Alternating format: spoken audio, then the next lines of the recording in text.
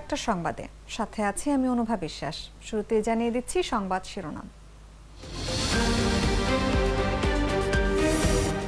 বৃহস্পতিবার থেকে শুরু হতে পারে শৈত্যপ্রবাহ।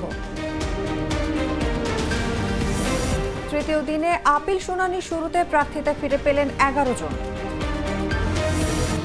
সংসদ সদস্যের প্রার্থিতা ফিরে পেতে হাইকোর্টে পঁচিশ রিট। খাগড়াছড়িতে প্রতিপক্ষের গুলিতে চার ইউপিডিএফ কর্মী নিহত। দ্বিতীয় দফায় পেছালো মির্জা আব্বাসের দুর্নীতি মামলার রায়।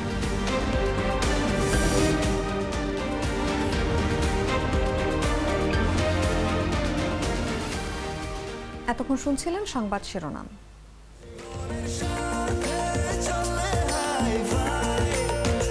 স্বাস্থ্যকর অল টাইম ফ্যামিলি কেক সব সময় অল টাইম হেলদি লাইফ এবারে চলে যাচ্ছি পুরো খবরে। শীত আরও বেড়ে বৃহস্পতিবার থেকে দেশের উত্তর এবং পশ্চিমাঞ্চলে শৈত্যপ্রবাহ শুরু হতে পারে বলে জানিয়েছে আবহাওয়া অধিদপ্তর। একই সঙ্গে এখন সারা দেশেই কুয়াশা পড়ছে। কোথাও কোথাও ঘন কুয়াশায় দুপুর পর্যন্ত দেখা মিলছে না সূর্যের। এই কুয়াশা পরিস্থিতিও আগামী কয়েকদিন দেশ জুড়ে অব্যাহত থাকতে পারে বলে জানিয়েছেন আবহাওয়াবিদরা। সর্বনিম্ন তাপমাত্রা আপাতত অপরিবর্তিত রয়েছে। মঙ্গলবার সকালে দেশের সর্বনিম্ন তাপমাত্রা এগারো দশমিক আট ডিগ্রি সেলসিয়াস ছিল পঞ্চগড়ের তেঁতুলিয়ায়।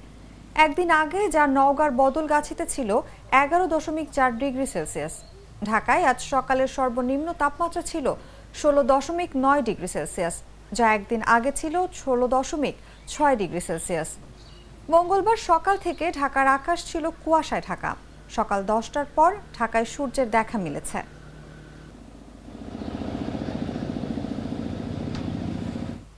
দ্বাদশ জাতীয় সংসদ নির্বাচনে মনোনয়নপত্র বাছাইয়ের রিটার্নিং কর্মকর্তাদের সিদ্ধান্তের বিরুদ্ধে প্রার্থীদের করা আপিলের শুনানি শুরু হয়েছে তৃতীয় দিনের মতো।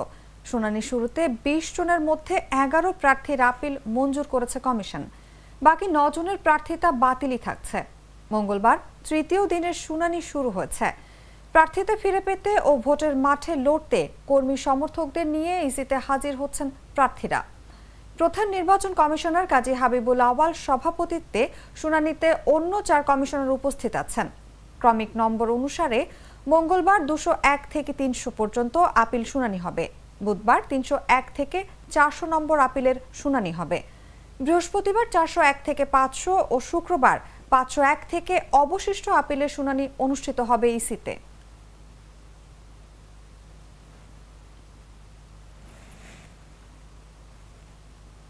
দ্বাদশ জাতীয় সংসদ নির্বাচনে সংসদ সদস্যের প্রার্থিতা বাতিলে সিদ্ধান্তের বৈধতা চ্যালেঞ্জ করে হাইকোর্টে রিট আবেদন করেছেন পঁচিশ প্রার্থী। রোববার ও সোমবার মোট পঁচিশ জন প্রার্থী তাদের প্রার্থিতা ফিরে পেতে এসব আবেদন করেন তাদের পক্ষের আইনজীবীরা। হাইকোর্টের একাধিক দ্বৈত বেঞ্চে রিটের শুনানি অনুষ্ঠিত হবে বলে জানা গেছে।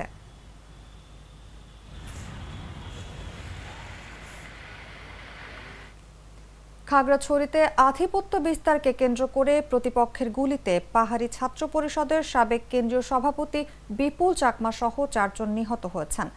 তারা সবাই পার্বত্য চট্টগ্রাম শান্তি চুক্তি বিরোধী ইউনাইটেড পিপলস ডেমোক্রেটিক ফ্রন্টের নেতাকর্মী। সোমবার রাতে সীমান্ত ঘেঁষা পানিছড়ির লোগাং ইউনিয়নের নয় নম্বর ওয়ার্ডের অনিলপাড়া এলাকায় এ ঘটনা ঘটে। দু হাজার আঠেরো সালের স্বনির্ভর হত্যাকাণ্ডের পর পাহাড়ে এটি সবচেয়ে বড় ঘটনা। নিহতরা হলেন। পিসিপির সাবেক কেন্দ্রীয় সভাপতি বিপুল চাকমা সহ সভাপতি সুনীল ত্রিপুরা, যুব ফোরামের নেতা লিটন চাকমা ও ইউপিডিএফ সদস্য রুহিন ত্রিপুরা।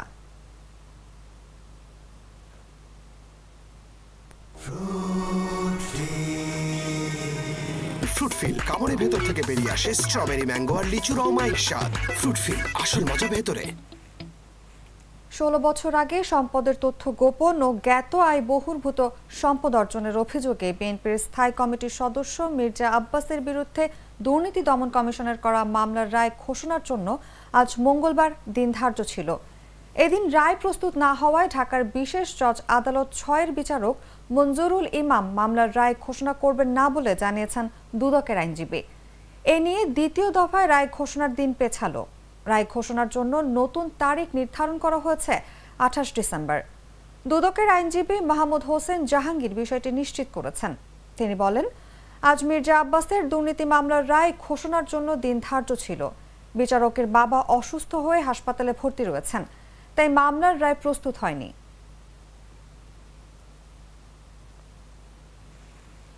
বিএনপি ও সমমনা রাজনৈতিক দলগুলোর ডাকে চলছে এগারোতম দফার অবরোধ কর্মসূচি। এদিকে গত চব্বিশ ঘন্টায় সাতটি যানবাহনে অগ্নি সংযোগ করেছে দুর্বৃত্তরা। সোমবার সকাল ছটা থেকে মঙ্গলবার সকাল ছটা পর্যন্ত এই অগ্নিসংযোগের ঘটনা ঘটেছে। ফায়ার সার্ভিস ও সিভিল ডিফেন্সের ভারপ্রাপ্ত কর্মকর্তা শাহজাহান শিকদার এ তথ্য জানান। তিনি বলেন, আগুনে গত চব্বিশ ঘন্টায় ছটি বাস ও একটি পরিত্যক্ত প্রাইভেট কার ক্ষতিগ্রস্ত হয়েছে।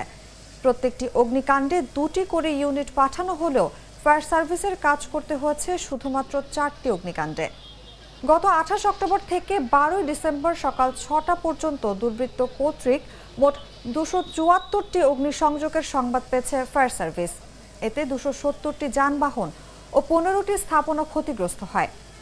অগ্নিসংযোগকৃত যানবাহনের মধ্যে রয়েছে একশো আটষট্টিটি বাস, চুয়াল্লিশটি ট্রাক তেইশটি কাভার্ড ভ্যান, আটটি মোটরসাইকেল ও সাতাশটি অন্যান্য গাড়ি।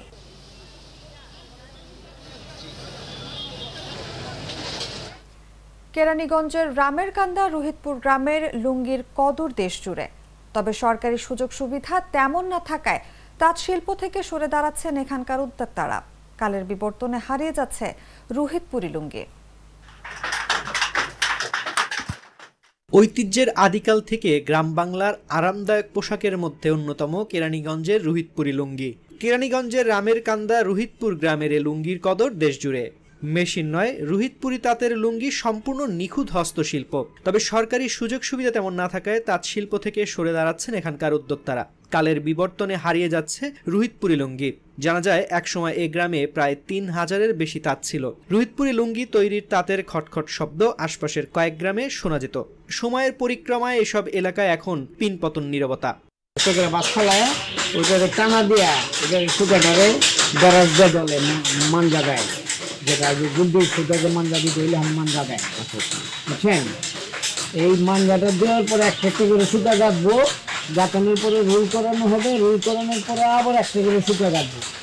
এখানে তেরো, চোদ্দোটা, পনেরো, তার মতো ধাপ আছে। তারপরে লুঙ্গি হয়। বর্তমানে শিল্পায়নের যুগে নতুন নতুন প্রযুক্তির পাশাপাশি সুতা রং ও লুঙ্গি তৈরিতে প্রয়োজনীয় উপকরণের দাম বেড়ে যাওয়া ও তাঁতের অভাবে হারিয়ে যাচ্ছে হাতে বোনা এ তাঁতের লুঙ্গি।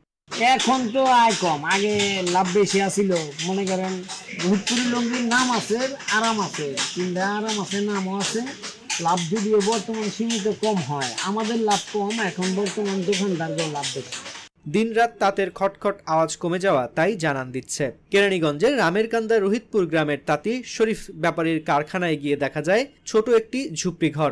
তার ভেতরে হাতে লুঙ্গি বুনছেন পাঁচজন তাঁতি। তাঁতিদের এক হাতে সানা লাগানোর কাঠের হাতল অন্য হাতে সুতা গাঁথার রশি দিয়ে খটখট শব্দে নীরবে কাজ করে যাচ্ছেন। কাস্টমার আগে চিনতো, এখন আর চিনার কোনো উপায় নাই। কারণ তাকে যে যারা নাকি আসলে রুইতপুরি রঙ্গিপের অভ্যাস, তারা আমাদের কাছে আসে। ঠিক আছে? আর আইসা কখনো ই করে না, ভাই দুটো লুঙ্গি দাও, আমি রুইতপুরিটাই দিই। আর যারা নাকি কম কম দামে নিবে আর যারা মান বোঝে না, তাদের জন্য অন্য লুঙ্গি। ঘরের বাইরে উঠানে সুতায় রং লাগানো সহ আনুষঙ্গিক কাজ করছেন আরও চারজন। কেউ আবার সুতার আশ সারাচ্ছেন, কেউ রং লাগাচ্ছেন। প্রতিটি মানুষের নিখুঁত পরিশ্রমে তৈরি হচ্ছে রোহিতপুরি লুঙ্গি। দর্শক, এ ছিল দুপুর একটা সংবাদে। এতক্ষণ সাথে থাকার জন্য ধন্যবাদ সবাইকে।